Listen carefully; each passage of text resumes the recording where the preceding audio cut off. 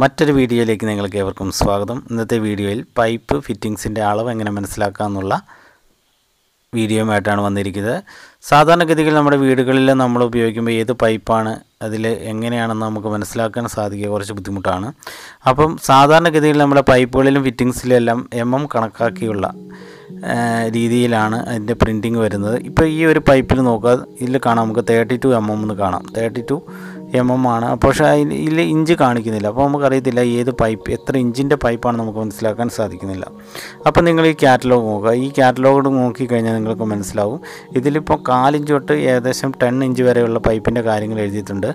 നമ്മുടെ വീടുകളിൽ സാധാരണഗതിയിൽ നമ്മുടെ വീടുകളിൽ നമ്മൾ നമ്മൾ അര ഇഞ്ച് തൊട്ട് അര ഇഞ്ച് തൊട്ട് ഏഹ്, നാല് ഇഞ്ച് വരെയുള്ള പൈപ്പുകളാണ് സാധാരണ നമ്മുടെ വീടുകളിൽ നമ്മൾ ഉപയോഗിക്കുന്നത്. ഈ ഒരു രീതിയിൽ വരുന്ന പൈപ്പുകളാണ് നമ്മൾ കൂടുതൽ ഉപയോഗിക്കുന്നത്.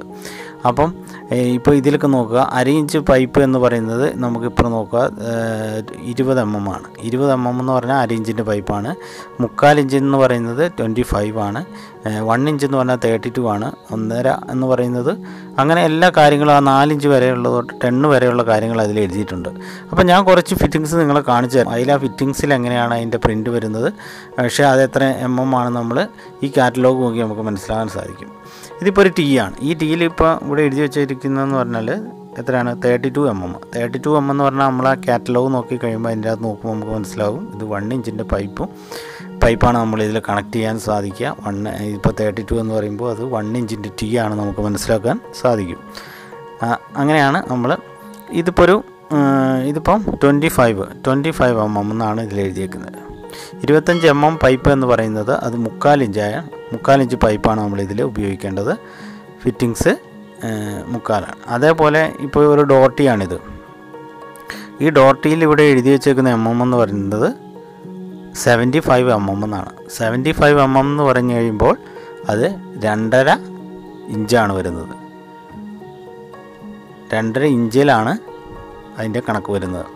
അങ്ങനെയാണ് നമ്മളിത് ഈ കാറ്റലോഗ് നോക്കി മനസ്സിലാക്കുക. ഇതിപ്പോൾ ഒരു ഒരു ഇതാ ഇതിൽ നൂറ്റിപ്പത്ത് എം എം എന്നാണ് എഴുതിയിരിക്കുന്നത്. നൂറ്റിപ്പത്ത് എം എം ഡോർ എൽബോ ആണ്.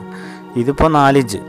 നൂറ്റിപ്പത്ത് എന്ന് പറയുന്നത് നാലിഞ്ചാണ് വരുന്നത്. അപ്പോൾ നിങ്ങൾക്ക് ഇങ്ങനെ ഓരോ അളവും മനസ്സിലാക്കാൻ സാധിക്കും. ഈ ഈ കാറ്റലോഗ് നോക്കുക അപ്പോൾ നമുക്ക് ഇതിന്റെ അളവ് മനസ്സിലാക്കാൻ സാധിക്കും.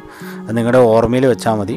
ഇതിപ്പോൾ ഒരു റെഡ്യൂസറാണ് നൂറ്റിപ്പത്ത് ഇന്റു അമ്പത് എം എം എന്നാണ്. അങ്ങനെ പറഞ്ഞാൽ നാലിഞ്ചിൽ നിന്ന് ഒന്നര ഇഞ്ച് പൈപ്പിലേക്ക് നമുക്ക് റിഡ്യൂസ് ചെയ്യുന്ന സാധനമാണെന്ന് നമുക്ക് മനസ്സിലാക്കാൻ സാധിക്കും.